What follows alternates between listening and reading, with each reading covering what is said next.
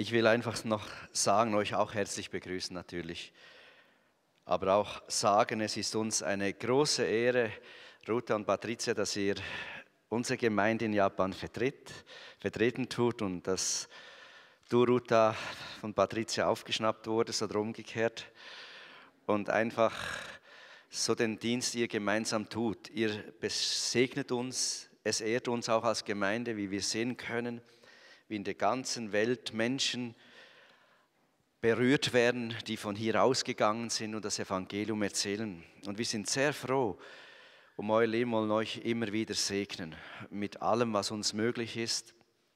Wir wollen auch für Japan beten. Betet auch für uns. Wir wollen natürlich nicht, dass alle Leute, letztens kam wieder jemand, der hat gesagt, ich will auf die Mission und ich merke, manche möchten einfach auf die Mission, weil sie denken, dort ist es leichter. Aber es ist nicht leichter. Bei euch erkennen wir, ihr seid nicht gegangen, weil es hier schwierig ist, sondern ihr seid gegangen, weil ihr einen Ruf von Gott gekriegt habt. Und dort habt ihr auch Kämpfe, die sieht man euch jetzt äußerlich nicht an, Spannungen, Nächte, die vielleicht traurig sind.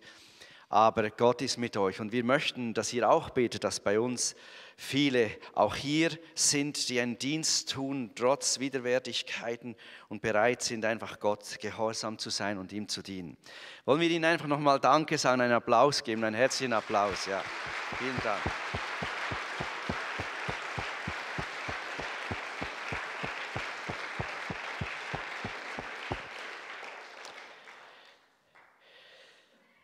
Es ist gewaltig, was Gott so wirkt und es ist ganz wichtig, Gott wirkt nur durch Menschen, die sich Gott hingeben und Gott weihen.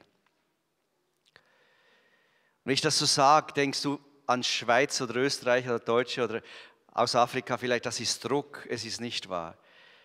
Das Beste im Leben ist für dich, Gott geweiht zu sein.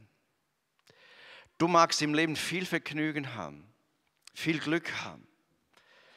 Vieles mag dein Leben beschenken. Und ich weiß ganz genau, wirklich glücklich wirst du nur dort, wo dein Leben Jesus geweiht ist. Es sieht nicht einfach immer aus, aber es ist der höchste Segen. Und ich möchte einfach nochmal dieses Blatt, dass ihr das anschaut, die Taufe hat auch mit dem zu tun. Sagt es Menschen weiter, es ist der letzte Moment zur Anmeldung oder nächsten Samstag im Taufunterricht dabei zu sein. Oder genau auch denkt einfach auch daran, dass die Jüngerschaftsschule startet, wenn jemand aufsteigen will, weil bald, es geht nicht so schnell, gerade wieder eine los, die Möglichkeit auch nächsten Sonntag. Es ist mir ganz wichtig, wenn ich das so wiederhole und manchmal lästig bin, ich weiß, wären Menschen nicht lästig gewesen in meinem Leben, wäre ich nicht an dem Punkt, wo ich bin. Es hat Menschen gegeben, die mich gestört haben, weil sie ständig mich angesprochen haben für mein Leben, für meinen Dienst. Ständig. Ich habe mich mal so pseudo verliebt und meine Chefin, das war eine Frau eines relativ wohlhabenden Mannes, die Möbel verkauften und Möbelausstellung hatten, die kam zu mir und gesagt, Walter, das ist nicht dein Weg. Diese Frau sieht äußerlich gut aus, aber innerlich eine Räuberhöhle. Und Gott will dich fürs Reich Gottes gebrauchen, heirate sie nie. Und ich hätte der Frau, der Chefin, den Hals umdrehen können. Hätte sie geschwiegen, hätte sie gesündigt. Aber eine Frau, die Gott hingegeben war, war es. Ich habe sie respektiert bis zu ihrem Tod. Sie ist im hohen Alter gestorben. Und es ist ganz wichtig, das zu sehen, das Beste im Leben ist, Gott hingegeben zu sein, aber ganz. Wenn du mit Jesus gehen willst, musst du dich trainieren mit Christus.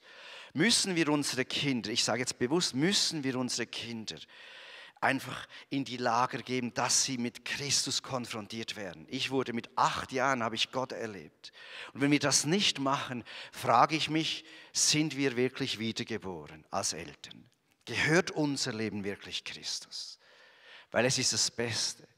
Ich konnte auswählen in meinem Leben, soll ich links gehen, soll ich rechts gehen.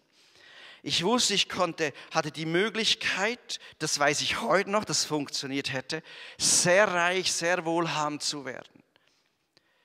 Und ich hatte diese Möglichkeit vor mir.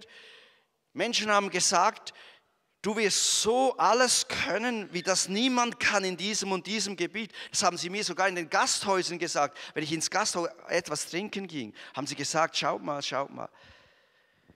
Und es war brutal, als Gott rief und hat gesagt, bist du bereit, alles zu verlassen, alles und mir nachzufolgen.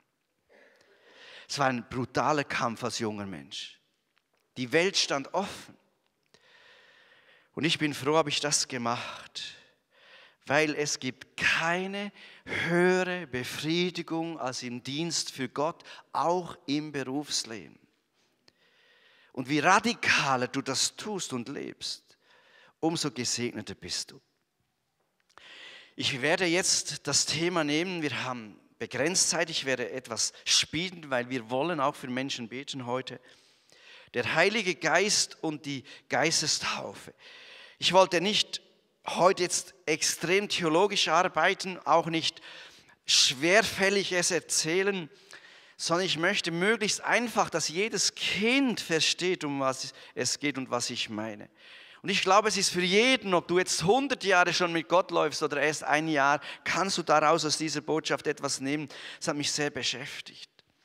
Und zwar, wir lesen dazu Apostelgeschichte 1 natürlich. Apostelgeschichte 1, wir sehen hier ganz klar, ist etwas erfüllt worden, wo in der Bibel steht, der Heilige Geist wird ausgegossen über alles Fleisch. Das heißt, der Heilige Geist ist zugänglich